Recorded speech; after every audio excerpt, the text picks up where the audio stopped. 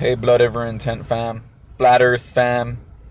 If you're just researching uh, Flat Earth fam, if you're looking for, you know, truth seeking fam, you know, everyone's my fam. Like a big brother, we wake, or big sister, we wake up the younger ones, you know, that haven't uh, completely uh, woken up yet, you know, whether it be with kind, loving words or hey, you're a fucking retard, you know? But it's out of love. So today, uh, I wanna. This video is directed to those people who understand, and um, pretty much I want to brush up on Lucis Trust. I'm going to do immense research on Lucis Trust because um, supposedly um, that's gonna that's gonna according to Quasi Luminous that's gonna pay for our trip. Okay, Lucis Trust sounds so bad because they work with the UN and all that shit, but I think it deserves more inquiry and more research. You know, maybe even visiting the location. You know, because at the end of the day, you'll see that they're only working with the UN because they're the only ones doing something in the world. So my my um my theory is that if we get enough people and show, you know, that some energy that we're we're up to something, you know, we have all the money in the world or not, you know, we have to get there or you know the means to get there, to get everyone there. It's not about money, it's getting there, getting getting all our people there, you know, at this certain time and date. So, that's what it's about. It's about, you know, getting us there, you know. So just because they're tied with the UN, that doesn't really mean anything. I think it deserves more inquiry. So we're gonna do that right now. Uh, it only takes 30 minutes of your time. So if you want to skip through some things, that's fine. But do your own research is what I want to fucking draw from this video. So we'll be watching it and I'll be giving my commentary on it. What I think from, you know, connecting the pieces. You know, we learn connecting the dots well, that's that's one of the first activities we learn, connecting the dots. But I think as people get older, they forget to know how to connect the dots. They forget how to connect the dots, even though that's the first thing we ever learned growing up. The little kitty activities, you know, even those games are a psyop. Those little kitty games that they give us, you know, the little toys and shit, the hula hoops and all that, the the basketball, you know, like all this shit you know, was it, it, it's put there for a reason. All right, so enjoy the video.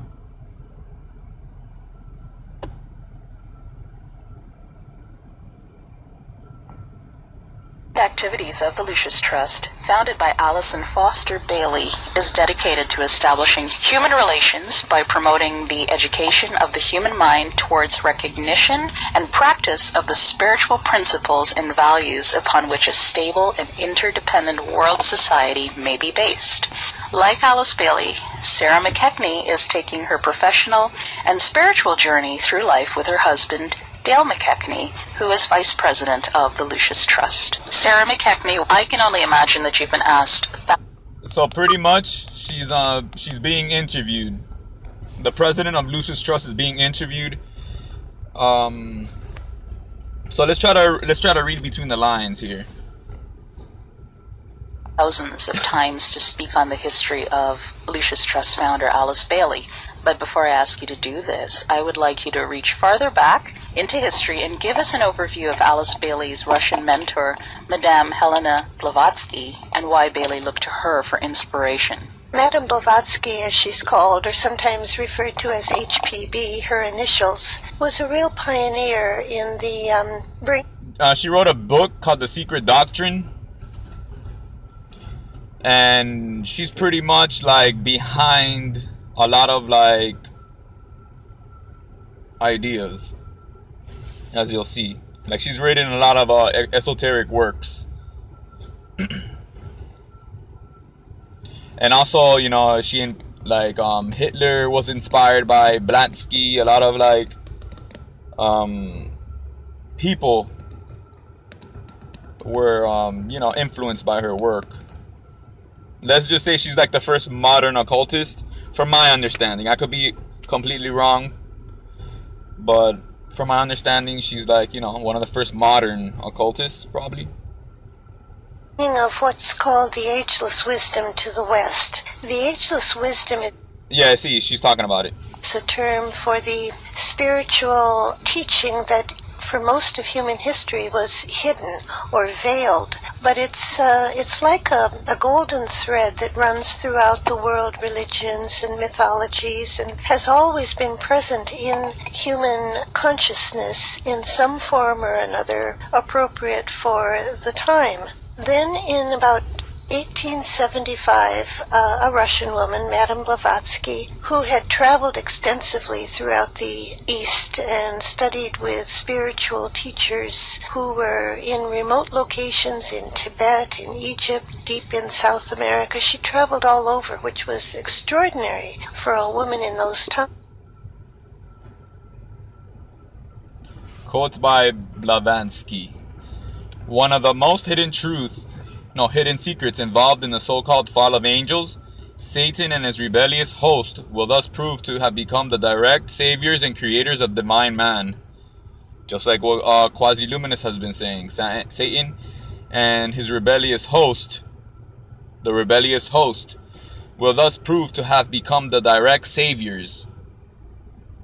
The direct saviors and creators of divine man. Thus, Satan, once he is ceased to be viewed in the superstitious spirit of the church. See, the church has been, you know, this makes sense. The church has twisted everything. Everything has been reversal of truth. You know, everybody says Satan, oh, negative. Let me X my mind, evil. Like, let me not get into it. Satan, oh, oh my God. Like, immediately when we heard, when we hear Satan, our brains just shut off and we don't want to think rationally. We just like, oh no, that's evil. Bye. Like fucking uh, robots and shit. So pretty much once he ceases to be viewed in the superstitious spirit of the church, grows into grandiose image. It is Satan who is the god of our planet and the only god. Satan or Lucifer. Lucifer. Uh, the black sun represents the the centrifugal energy of the universe. This ever living symbol of self sacrifice for intellectual independence of humanity. So, pretty much, I've also read that the fallen angels are always looked up in a bad light by Christianity. But the fallen angels fell from their from their beautiful nature to rise us up, to help rise us up to where they are. That's um that's what I think about the fallen angels. And you can watch uh, the movie Noah, the one about the ark and shit. The fallen angels actually help Noah in building the ark. So I think you know, I think maybe the names are mislabeled, but definitely this deserves more um, conscious awareness research you know? So definitely i'll be doing that. This is very fucking interesting. This ever-living symbol of self-sacrifice for the intellectual independence of humanity. So they had to they, they're pretty much going down to reach us to bring us up. That's pretty much like my idea of what i've looked at so far. I as as i collect more information you know my view will definitely change. Let's see let's see Times wrote a work that's called The Secret Doctrine, and it was really fundamental in bringing the ageless wisdom into Western consciousness. Alice Bailey herself discovered the secret doctrine when she was living in California. Her own personal story is very interesting. She was um, a divorced woman with three small daughters to raise, and through a series of extraordinary events, she discovered the secret doctrine and was put in touch with two students who had studied personally under Madame Blavatsky. And, so Alice Bailey became uh, deeply uh, engrossed in the study of the ageless wisdom and became an expert on the. So Alice Bailey started on the the, the Lucis Trust uh, Fund, and they also have a library. Um, pretty much the I think the movie Alice in Wonderland is about Alice Bailey, cause you're gonna learn later that that uh, she loves reading books. She loves reading books, and the girl in Alice in Wonderland also likes reading books. Like you see her reading a book in the park, and then she falls asleep when she's reading. It doesn't tell you what she's reading. I don't. I don't think so. I'm not sure. But whatever, she falls asleep pretty much reading. So I think uh, Alice in Wonderland is really about Alice Bailey. Uh, I'm gonna look into that more.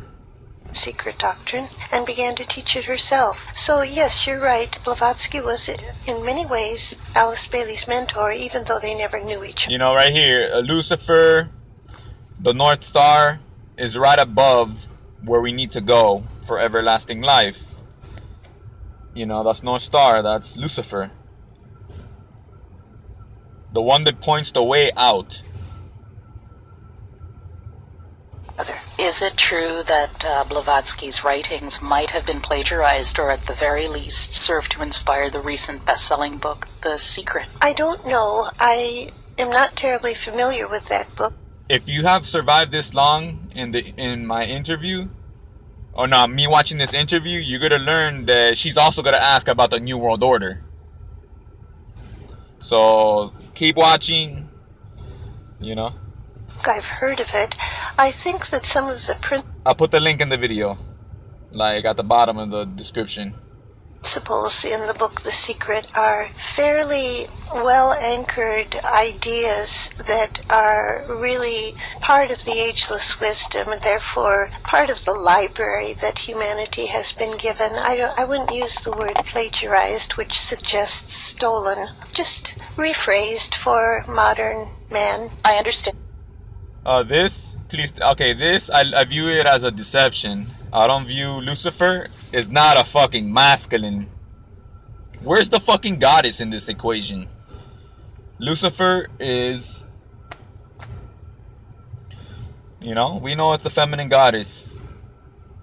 It does not have a man Both hand. Madame Blavatsky and Alice Bailey's mothers died gripping when they were young girl girls. hand and because death is life's greatest mystery that can't truly be explained, even though traditional religion attempts to do just that, do you think that the death of these women's mothers could have been the catalysts that set them on a path to esoteric study? That's an interesting question. I'd never thought of it that way. Quite possibly it's true. Alice Bailey, in her uh, autobiography, which is called the Unfinished Autobiography because she died before she completed it, does talk about her childhood, and uh, in fact, she was orphaned. Both her mother and father died before I think she was even 10 years old. And uh, it was devastating for her, as it would be for any child of that age. She was passed back and forth between different parts of her family, and that had a big impact on her spiritual development because, as I understand it, every summer she would be shipped off to her grandmother in Scotland, who was quite a um, fundamentalist Christian, and Alice imbibed the fundamentalist Christian doctrine of her grandmother so deeply that as a young woman she was very narrow-minded in her own words, a rabid evangelist, and went to India to preach the Christian doctrine to British soldiers in India. But as she discovered, they were more interested in um, And honestly, who the fuck knows if these people even exist? You know, it's a cover of a cover. But it's you have to look into it somehow. You gotta start somewhere. You know? You gotta start somewhere. Like who knows if these people are even real? Like supposedly there's this theory that Hitler is uh, Walt Disney. You know? Like just because it sounds crazy, don't dismiss it. Look into it. You know, look into it, look into it. drinking cocoa and playing chess with her than listening to sermons. Expand on Bailey's biographical data for me, that would be great because I think it's a pretty interesting story she had. You know, her first husband and who was abusive, and that's the sort of thing that women are still dealing with today. To go on to become such a, a, a great and interesting woman. I suppose all of us are a product of our life experiences, and Alice Bailey certain, certainly was. She was an orphan. That's fundamental. She was born in the Victorian era of England. That's fundamental to her character. Was born to a life of privilege, and that also is fundamental. She never went to a school. She was tutored privately, and she had a first class education and an incredibly well developed mind which became very important for the work she later did. She was, as I said, a fundamentalist Christian as a young person. Her experience in India when she was about 20, I guess, very young, very um, receptive to a totally different culture and way of life, really was the beginning of her spiritual revolution. She revolved, uh, you could say, turning from the narrow fundamentalist perspective to a, a spiritual consciousness, which became completely inclusive in her later years. She fell in love when she was in India with a British uh, officer in the British forces. He was not of her class, and at that time, So supposedly she had a normal life. Let's see. that was a, a huge issue for them. The only way their families could deal with this mixed marriage, as they probably would have called it, was to send the young couple off to America. So her husband and Alice came to the United States. He studied to become a um, minister in what we call the Episcopal Church, the Anglican Church. Then they moved to California, where he had um, parishes in various small towns in rural California. They had three small daughters, but all was not what it seemed to be on the surface because, as you say, he was an abusive husband. He had a violent temper, and um, I think the whole thing culminated. I would love for this to be review to be reverse speeched, like her whole interview reversed. With him throwing her down a flight of stairs, and uh, it was eventually concluded by the bishop who oversaw her husband's um, work that they had to live apart. Divorce at that time was just not sanctioned by the church, but um, there was no way that she could remain in that marriage. And that was at the beginning of World War One. So she was separated from her husband without any money, no access to the money of her family back in Britain due to the war. She became um, a worker in a sardine canning factory. And keep in mind that this was a, uh privileged uh, woman from a very aristocratic background. What about you, Sarah? What was the catalyst that set you on your spiritual quest? I'd have to think back many, many years. I suppose it was um, something that grew out of an early aspiration to be of service. In my limited experience with people who have converted from traditional religions to more esoteric or New Age type practices, there's usually one thing each individual can pinpoint that made them have that aha moment and convince them to take up the new practice. Can you pinpoint something in Alice Bailey's teaching, one thing in particular that gave you that moment of awakening? I don't think I can. It was more of a gradual process of um, realizing that the mind has to be active if one is going to make any contribution to the world, that a, a willing emotional nature is not enough. And uh, the discovery of meditation, I would say, was pivotal, but I can't say that it was And her voice sounds so gentle, like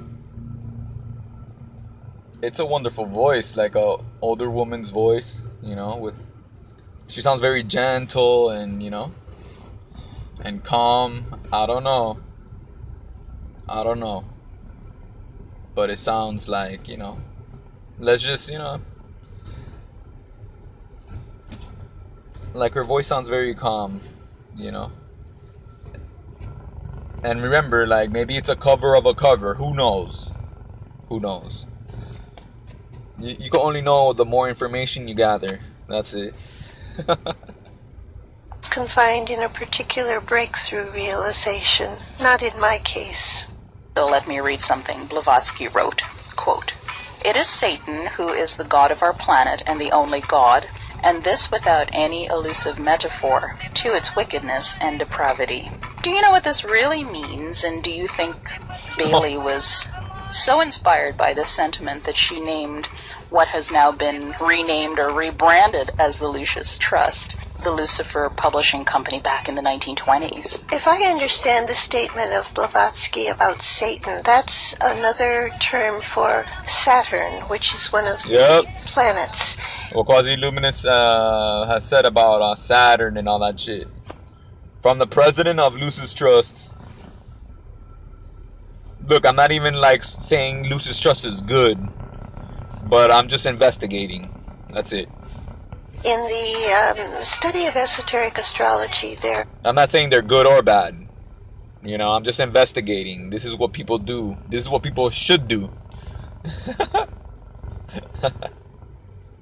are, I believe, seven sacred planets. Saturn is She's the planet she's that is connected. She's explaining the planets now. You know, that they're not actually solid. But of course, she's gonna mention some globe Earth ideas because she's a glober. Possibly. Who knows? with the distribution or the working out of karma, the law of karma, which is really um, just another term for the law of cause and effect. Time. It's utterly benign in its ultimate working out, even though karma can be painful to the individual undergoing the process. And that's why Blavatsky said Satan or Saturn is, um, well, how did you put it? It is Satan who is the god of our planet and the only god, and this without any elusive metaphor to its wickedness and depravity. Well, if I understand Wickedness her, her and language depravity. without any I don't elusive metaphor to its wickedness and depravity, she's saying not it's not necessarily associated with uh, wickedness and depravity as we normally think of Satan, the devil. Saturn is the planet of um, karma, which is the great law of equilibrium, the restoration of harmony and balance. That's another way to look at cause and effect. It's the restoration of equilibrium which can only be good. Now, the reference to Lucifer comes from Blavatsky's um, description of Lucifer in the accurate sense of the So having that we're in between, maybe we're in between, you know, like like the colors, you know, they all gradually go like the frequencies, the colors, they gradually, you know, turn to each other. So in reality, they are all each other, but it's just different versions of each other. Like like material like uh, material is the lowest frequency of spirit and spirit is the highest frequency of matter. So matter is the lowest frequency of spirit, and spirit is the highest frequency of matter. So they're all in the same. So we could be on that middle ground of like, you know, good and evil, a balance. Looking at the term wickedness in a different way, I'm not saying she's good. I'm just trying to see it like I'm just trying so hard till I figure it out, and you kind of figure it out a little bit. You know, because like, oh, someone hears wickedness and they're like, okay, wickedness and all her glory. Me, I'm trying to understand why they say that. Why? You have to keep asking. Why do you say wickedness? What does wickedness mean to you? You know, questions. Keep asking questions, man. Even if it's like dark, like wickedness. What do you mean wickedness? Explain. term which is a Latin of Latin origin. It means literally light bearer, and it refers to a very obscure principle in the ageless wisdom, which is that the solar angels, the the governing lords of the world, descended to our planet eons ago, bringing the principle of mind to what was then in those ancient, ancient times, essentially animal man. Human beings with no mentality at all, no soul, just virtually living the existence of an animal. And these solar angels brought the principle of mind. That's the connection with Lucifer, light bearer, bringing the light of mind to our world. So Lucifer to Blavatsky was one of the great sacrificial beings who descended to earth. That's where we get the idea of the fall as John Milton, I think it was the British poet John Milton, wrote about the fall of the angels. That was the descent of the solar angels to earth as an act of sacrifice on our behalf. So you can see if you even have a willingness to consider this doctrine, how skewed it has been by the uh, more modern connotation of evil and Satanism and corruption. It's it's not seen that way at all in the ageless wisdom. So Allison Foster Bailey came out of the theosophical tradition, as I said. I believe Foster even was the editor of a theosophical magazine that they called Lucifer. So they probably thought Lucifer, light bearer, was a good name for their fledgling publishing company company when they started to publish the books that Alice Bailey was writing, the books they saw as bringing light to humanity. But within two or three years, they decided to change the name of the company to Lucis Publishing Company. Lucis being from the same Latin term meaning of light, trust. Like I think a Lucius could be, maybe of Light Publishing Company of Light, and that's the name we've had since about 1925. Did they get flack and that forced them to rebrand it? Not that I'm aware of. There's no record in our history of our work that um, explains why they changed the name. I have no idea why. It's only in more recent years with the internet and this um, sharing of ideas, no matter how cockamamie they might be, that the internet offers, that we hear more and more uh, from people who are concerned about our name. Anybody who's curious about it, you can go to our website, www.lucistrust.org, and you will find an article article explaining the origins of Lucifer and the history of the Lucis Trust, and that should put it to rest. Are there any other characters that are just as wise and illuminating as Lucifer? Perhaps is there a feminine spirit that um, the Lucis Trust speaks about? Well, the feminine. I see. Feminine spirit. Whoop in principle is um, embodied in people like Eve, Isis, and Mary. Mary being the mother of Jesus, Bingo. Eve being the that biblical wife of Adam, Isis being one of the um, rulers from uh, Egyptian mythology. Generally, the feminine principle in the ageless wisdom is equated with matter, and matter, according to Blavatsky, is spirit on its lowest level, and spirit is matter. Here, here she's doing. Uh, this video's uh by someone criticizing them, so that's why they're putting this goat head. But it's supposed to be the other way. It's supposed to be right side up.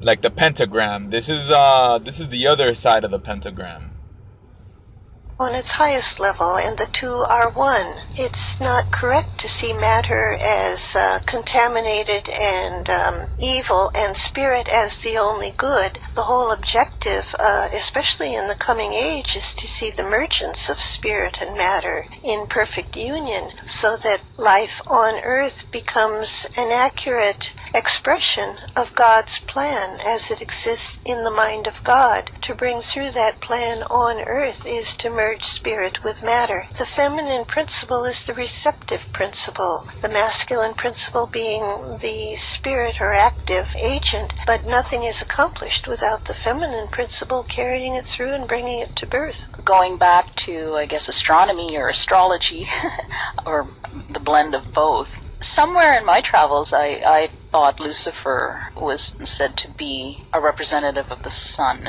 and Isis the moon. Yes, I've heard uh, Isis equated with the moon. Here I'm showing my own ignorance. I really haven't studied um, this aspect that you've just brought up very deeply. Lucifer associated with the sun? Well, the name means light bearer. The sun is the source of light on every level of existence, not just in the physical sense, but in the spiritual sense. So that sounds logical to me. Uh, the Ageless Wisdom says that the the solar angels, including Lucifer, came from the planet Venus, which is close to the sun, but more spiritually Isn't- advanced than isn't, our uh, planet Venus Earth, feminine in apparently, nature? bringing the principle of mind to man. The arcane school. Uh, this is kind of maybe being too simplistic, but could you give us a laundry list of what the teachings are? The Arcane School was um, one of two of Alice Bailey's um, spiritual contributions. The one of them was the writing of the 24 books of ageless wisdom, which are published over her name. The other was the uh, establishing of the Arcane School, which she began in the early 1920s and which exists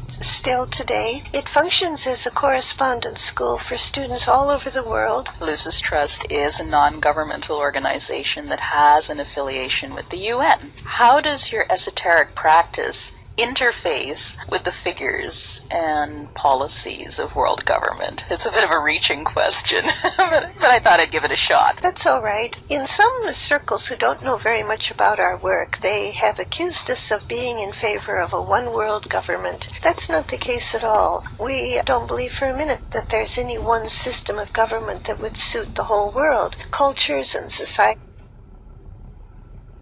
Okay, so here. So here, pretty much, she's uh, saying her view about the New World Order and United Nations. Societies are different, and it's the right of nations to choose their own form of government. The term one world government is much more subjective in its significance in the books of Alice Bailey. It doesn't mean a political system that uh, nations would follow, but rather a kind of a spiritual view or perspective that sees the coalescing of all the nations of the world in unity. And that's what the United Nations stands for. People expect the UN So pretty much, we gotta give them a bigger fucking amount of people than the UN. We gotta be bigger than their board.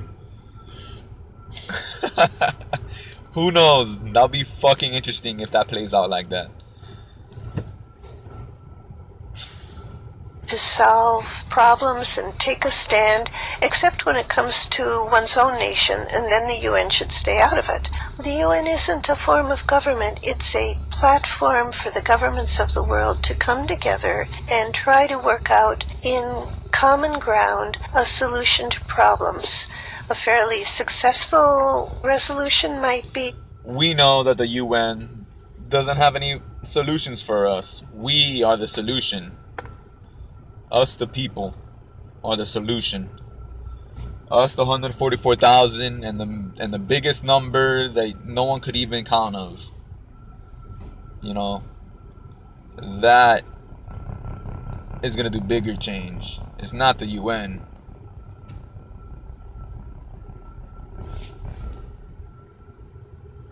The way they are approaching the problems in um, the Middle East that have been developing since the turn of the year.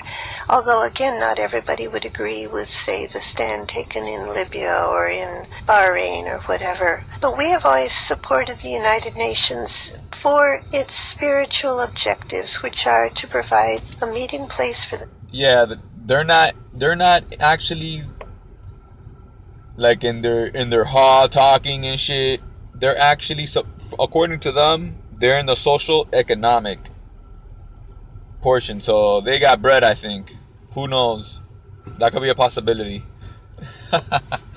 But they're not really directly involved with the un they're just affiliated with the economic and social aspect of the un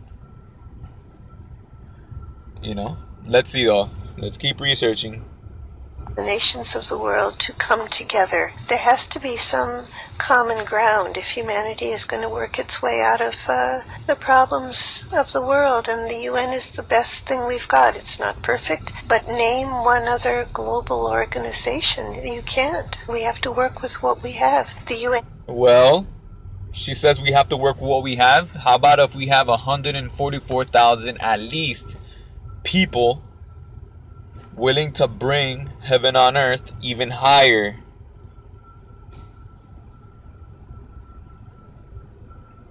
You know, the light bearer. going from here to an extreme push to the next level. If they say that that's what they have in mind, then it shouldn't be an issue. It's more we'll be more than the UN. We'll be we'll have more people. You know, of course. You know, and peacefully gather and, you know, that'll be pretty interesting. It's just an idea. That's what I'm intending in my brain. You know, I don't know how it's going to happen, but it's just in my head. I'm playing with the idea. Freedom of thought, you know, thinking, just thinking. It's no better than its member states. And its member states are reflective of the consciousness of humanity in its present condition, which is imperfect. But let's say there uh, was such a thing as a new world order, one world government, globalist agenda, that sort of thing. Do you think the teachings of the arcane school would be the ideal teaching to bring out spirituality and what we would need to have a successful one world view? Well, I would elaborate on that. We need to be bigger than the UN. You know, like a real United Nations not like a representative, one representation. You know, thousands of all cultures that idea by not giving the arcane school the credit. I would say the teachings or the principles of the ageless wisdom, yes, are enough to provide at least um, a template for the world to live in more harmony and unity. Those principles being a love of truth, a sense of justice as being uh, something all human beings are entitled to, a spirit of cooperation, a sense of personal responsibility on the part of every human being well, pretty much, Lucius, you know, they're representing the Black Sun, but they're not saying it like how we know, like what the Black Sun is and Lucifer and all that. But pretty much, his organization represents is the fit is the worldly representation of what we know.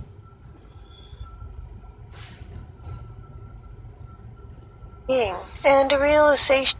And people are like, oh, um, that that there's no such thing as a new world order or all this shit. You know, clearly there's a part of the UN, a part is associated with Lucius Trust, and they have spiritual ideals and you know Luciferian ideals. You know, so they're they're involved somehow. Hello, wake wake up a little bit, please of the goal being the common good, the good of the whole. Those are very generalized principles, but I would think that all intelligent, decent people could at least give lip service to to those principles. I know you're not supposed to uh, lobby or interfere with any kind of political movements, but have you, uh, being with the UN for how many years is it? Oh, I think the World Goodwill has been affiliated with the United Nations Department of Information probably from the beginning, which was, I think, in the early 50s. Do you think Alice Bailey's teachings in any way might have influenced any of the Secretary Generals or the ambassadors? Well, I don't know if her teachings specifically have influenced them, but certainly the larger ageless wisdom has been, I think, um, influencing the consciousness even back with the first Secretary General, Dag Hammarskjöld. He was a deeply spiritual man. If you read his book, Markings, it's just full of spirituality. Thant is revered even today for his deep spirituality. He was a practicing Buddhist but utterly inclusive in his um, view of human beings and his openness to other spiritual truths. Robert Muller, who was an undersecretary general for many years, again had a true global vision of humanity that was um, not confined by nationalist goals or objectives. He himself being the product of warfare in his home region of Alsace-Lorraine, which was torn torn between France and Germany, he knew personally how nationalistic thinking can cause such suffering. And probably there have been many other people in the UN who have been truly conditioned by spiritual values. I don't want to name too many of them because I think that gets into the area of personal belief, but you can recognize them by the quality of their thought and by the nature of their worldview. So we do reach out to the people of the UN, and we find that many of them are very conscious of having a spiritual mission in the work they do. And they need our support. They are working in very. Well, now she's like talking about the UN and that shit. But like I said, we gotta give her something bigger than the UN. More people, I, I think.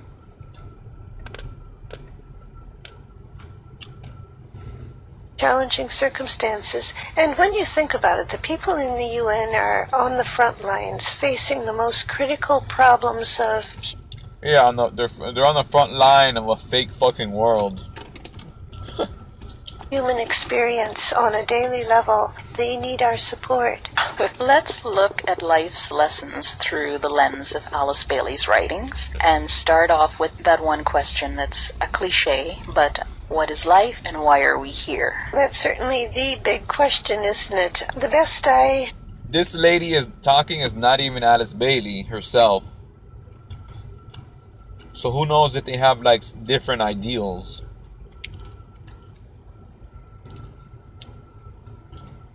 You know?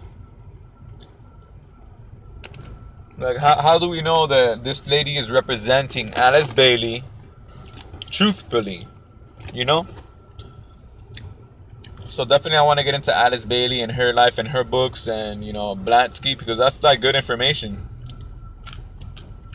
It's like really the occult of like what these people like dabble into. You're learning what the high occult, the occultists supposedly are learning. And they lay it out there for you.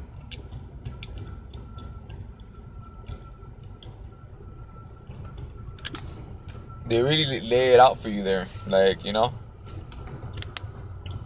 putting truth in, putting, uh, you know, truth in plain sight. You know? 10 more minutes, guys. What I can say is that we are here to develop a consciousness of relationship. We're told in the writings of Alice Bailey that we live in a solar system in a universe that is governed by the second ray of seven rays, the second ray being the ray of love. And this Okay. is working out To develop in the heart. human consciousness as it evolves, as a sense of relationship, of being a part of something much greater than an individual self. And the whole progress of the spiritual path for anyone is to steadily expand the consciousness, to understand or incorporate larger and larger awareness of a wholeness, which, if you are religious, you call God. If you're not religious, you might refer to it as a basic energy. But we are not isolated islands. We are living fragments of a deity, which is can only be described as a synthesis, a wholeness. This realization comes very slowly and only over time and evolution. It's not something you can just sit in a corner and figure out after a little bit of effort. It's an evolution. See half lies, you know, talking about evolution. But we know what evolution really is, you know. Like I would say that's kind of evolving. You know, in a bit like transcending when you go to the holy waters to the north. You know, the Holy Grail. That's kind of like transcending, right?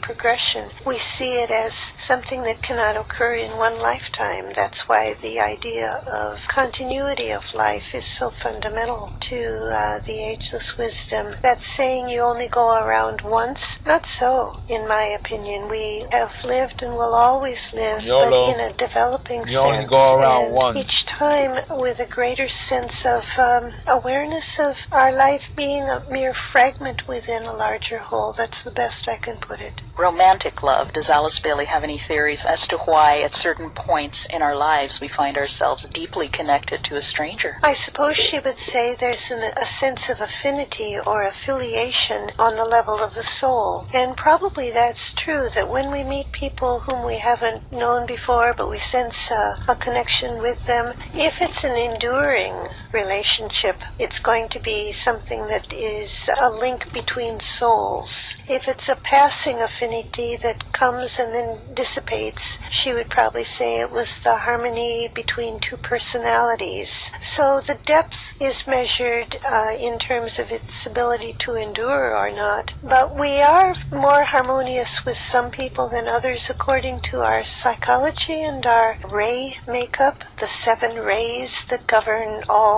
forms of manifestation power, love, intelligence, harmony, knowledge, devotion, and uh, order or organization. These are all different lines of development that we are synchronized with our fellow human beings depending on how they are conditioned by them. If we believe, for example, that we are a second ray soul, we're probably going to find ourselves responding to other people who share a similar conditioning. I listened to one of your audio newsletters wherein the speakers discussed nourishment. Almost at the conclusion of the presentation, the gentleman made remarks about the overpopulation of the planet. He said something to the effect that we should employ kind and gentle measures to control our world And we know the world population is bullshit. population instead of experiencing a more harsh solution from Mother Nature. Then he left it at that and left me wanting for more. so it, it begs the question, what is the Lucius Trust position on how we, how and why we should control the world population? We don't really have a formal policy or point of view. The implication of that statement you just read is that Yeah, they don't give a fuck about the world population. They probably know that that's bullshit too. They don't give a fuck. Mother Nature takes care of overpopulation through famine, through war, through uh, uh, all kinds of natural disasters. But war isn't really Mother Nature. Yeah, but the implication is that if we don't take care of overpopulation, other circumstances will do it for us. But I personally think that anyone living in the West, and particularly in a developed country like the United States, had better be very cautious about judging overpopulation and saying, well, look, our society, we only have 2.1 children, whereas other societies have six or eight. A child born in America is going to consume far more of the world's resources than a child born in a developing country. And so we can't just say other countries need to. We know all this resources resources is bullshit. The Holy Grail and, and Flat Earth is gonna solve all this shit, according to some research. Cut back on their population. If we aren't also doing something about our overconsumption of the planet's resources, doesn't the United States consume something like 25% of the world's resources? And we're only a small, what, 5% of the world's population? That's terrible. I think that's the point we should focus on and not overpopulation. Did Alice Bailey have any particular views on the prophets who have come into the world throughout history? As I recall from her writing, she viewed them as forerunners who are the advance guard, we could say, bringing teaching or sometimes warnings. Uh, for example, Isaiah in the Old Testament, some of the Old Testament prophets. Nowadays, I think the prophets are coming more in group form and we see them active in the world through just about every area of human experience. They're the people who have an insight into the developing trends of the world and can help to warn and guide humanity. You can hear their voice in economics, in science, in religion, in education, in culture. They're the forerunners and they're trying to chart a new course for humanity. Their voice is becoming more and more prominent, think, and thanks to modern technology, more universally accessible. But is it not so that Lucis Trust, Alice Bailey, was looking for specifically the prophet Maitreya? The Maitreya is a being, an entity that is expected by the Buddhists. It's the reincarnation of the Buddha as the world teacher, the final Buddha, he whose name is kindness, we're told, and he's expected as a an avatar to lead humanity forward into the next stage of human evolution. The Ageless Wisdom views the Maitreya as the Buddhist understanding of the same concept that the Christian views as Christ, that the Hindu understands as the Kalki avatar, the Jewish person looks for the Messiah. It's the world teacher, and the writings of Alice Bailey say this entity will come, this time for the whole of humanity, not for any sun. particular group, but for the whole. Were there not specific dates? I can't bring to mind a gentleman who was, I guess, the PR person for the coming of the Maitreya, but he had some specific dates out there, and unfortunately, it, it never materialized. No, Alice Bailey has never set a specific date. It's forecast that this world teacher will reappear sometime in the 21st century, but I think the conditions have to be created by humanity. She spells this out quite clearly in her book, The Reappearance of the Christ, that before this world teacher can return, there has to be a true sharing of resources on the part of humanity and the growth of goodwill in the world. And as well, we have to see some signs that the political and religious systems are willing to clean house. And I think we can certainly look at what's going on, say, in the Catholic Church and in the political field and realize that there is house cleaning going on. And that's all very positive. But a true sharing we have to demonstrate a greater growing goodwill. I think it's coming. When you look at the response, say, to the tsunami in Southeast Asia, to Haiti, to. Probably all factor fabricated events, probably caused by HAARP. Who the fuck knows? I have to do more research on that. Japan, to the victims of Katrina, we do see a growing sense of sharingness and compassion. So we're getting there. But those are the conditions humanity has to provide before, to put it frankly, it would be worth the time and energy of the world teacher to reappear. Who was this gentleman that was predicting the dates, and how did he get into the mix and some kind of association with Lucius Trust? He's never been associated with the Lucis Trust. Um, you're speaking of Benjamin Creme, and we have no involvement in his work nor he in ours. What is expected to happen when the Maitreya returns? If we see this as a continuity that was last embodied Buddhist. in the person of the Christ 2,000 years ago, like at the, that time like he Christ, anchored the, the an Buddhist energy Christ. of love that had never before been present in the human experience. He was the embodiment of perfect divine love. We're told that when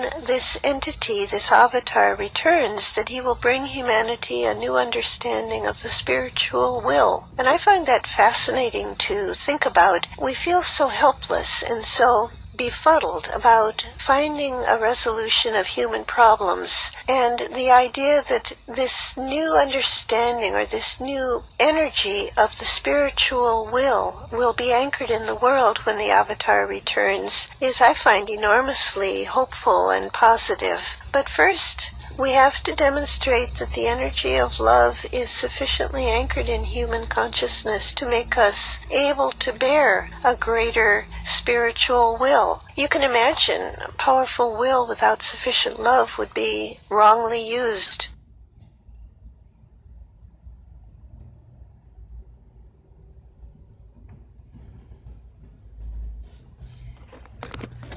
Alright guys, hope you got some insight. Look into Lucis Trust, get into Alice Bailey. You know, learn about the other side to better make a better answer in your head, to come up with a good answer. What you feel comfortable doing, like that answer that you feel uh, comfortable with. Well, take care.